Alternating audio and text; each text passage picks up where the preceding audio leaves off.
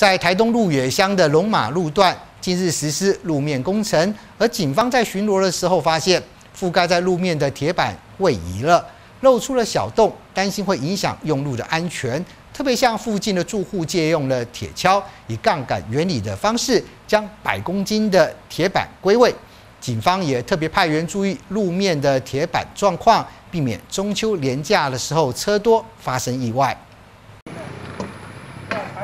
身穿制服的警察贝贝把警车就停在路边，拿起铁锹一上一下，试力将重达百公斤的铁板移位，覆盖住路面上露出的小洞。这究竟是怎么回事？在鹿野乡龙马路段有道路施工塌陷，并通知施工单位改善。